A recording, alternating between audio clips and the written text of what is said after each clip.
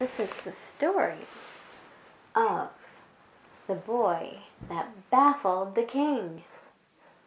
You know what baffled means? It means it kind of shocked and stumped, and he didn't know what to think. Baffled is like that. You don't know what to think. So, on this day, it was a nice sunny day, and Gordy was loving his books. He had shelves and shelves of books. He spun around, pointed his finger up at the sky. Well, it was his ceiling, actually. Pointed his feeling, si- bleh, pointed his finger at the ceiling, twirled around, and pointed at a book. This was his favorite game because he never knew which book he was going to be picking, and he had so many. Sometimes he hadn't read some of them for years. He grabbed the book and it said, the boy that baffled the king, and he couldn't even remember what it was about. Gordy loved looking at the pictures, and he loved pretending that he was actually in the book, that he was one of the people in the book.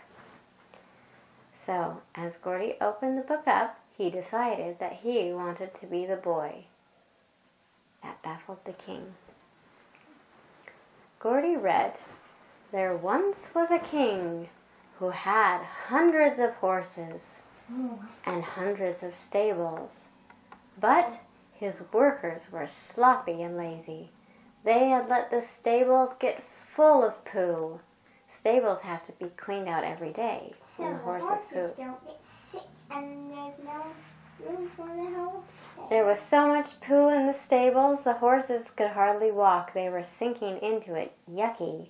And it would have taken years to clean all that out unless you had a whole army of people in doing it. The king had a very important problem. He was supposed to use his horses for a grand parade only one month away. And he couldn't possibly do it when all his horses were in these pooey stables because they kept rolling in the stables and covering their fur with the poo. They looked like poo horses. It was horrible. The king work- said, The workers are supposed to be doing work. That's what workers are Yes, supposed to be They were so lazy. They just thought we'll just get paid to do nothing. The king never comes down here. He won't see.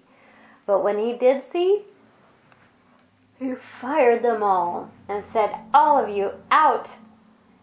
But he had a big problem on his hands still because there was a lot of poo in the stables. And the king couldn't clean it The king ma- doesn't want to get his jewels dirty. Yes, it would take him too long to clean all of that out. Mhm. Now, here's what the king said to everyone in the land Whoever can clean these stables out by uh, the beginning of the month, so that gives you 30 days, by the beginning of the next month, will have my daughter to marry. So he was giving the princess away to marry the man who would clean out the stables. Now, there was a little boy, and he was sure he could do it. But the king wouldn't listen to him. He thought he was a lot of nonsense because he was only a little boy, and how could this little scrawny boy possibly clean out the stables when even the biggest, strongest men couldn't get it done that fast? Some men said, We can do it. We have tons of people.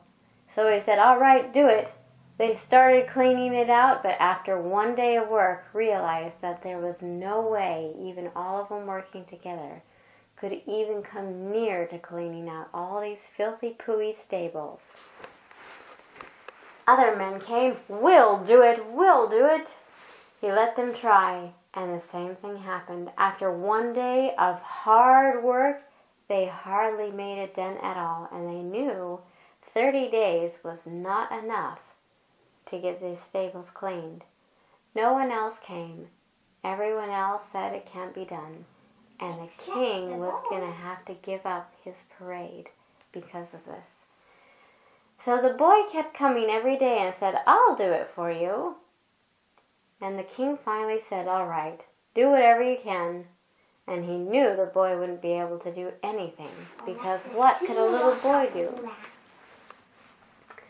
So the little boy had a wonderful plan how to get all the stables clean by this day.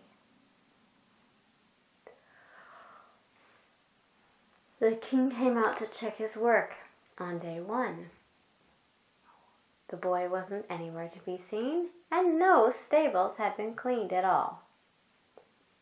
The day two, same thing. Day three, the boy was out digging um, a trench far away from the stables. What are you doing here digging this trench? You're supposed to be digging, cleaning out the stables. Oh, don't worry, I have lots of time to do that.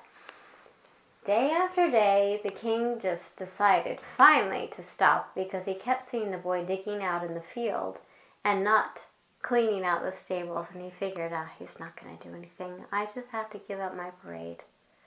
I have to try to think of another way. Now, when one day was left, suddenly the boy's plan got snapped into action. The boy had dug a huge trench all the way to the river, which was very nearby, and then finally, he opened the trench to all the water, and the water ran from the river all the way to the stables. Is a trench Fresh. a little path? Yep, a A trench is. deep trail? Yeah, it's like a deep trail. Like a little stream? Yep.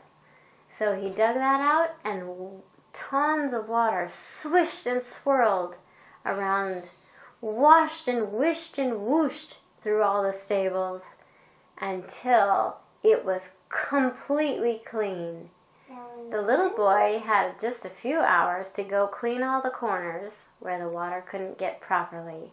He cleaned them out, and the whole stables were shining. Then the boy took all the stones he had piled to the side of where he opened the trench and threw them all into the trench water to stop the river from going there again and turn the river back onto the where it used to go. He went up to the king and said, "Okay, the trenches are the stables clean now." The king was shocked and he didn't believe the boy. He came down to the stables straight away to to tell the boy what a liar he was. And he couldn't believe his eyes. There in front of him were all the stables, completely cleaned out and all wet. How did you do this? he said. The boy said, Well. I dug a I dug a trench to the river and I let the river do all the work for me. I couldn't have cleaned all that in 30 days. Even a whole army of men couldn't have cleaned that. So I let the river work for me. I just dug a trench to the river.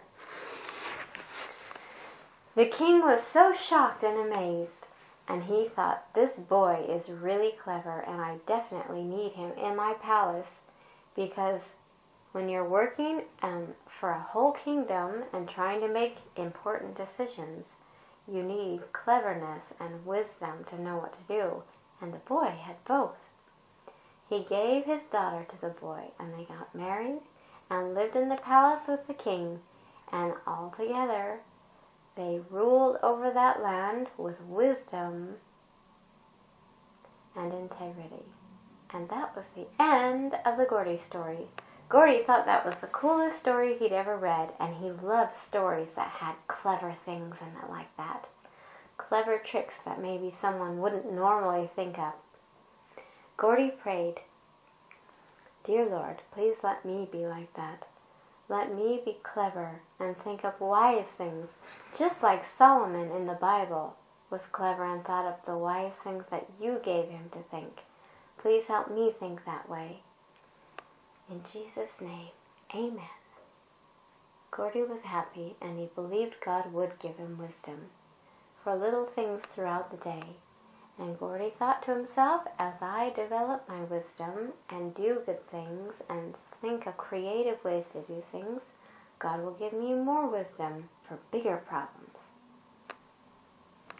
And that was the end of the story.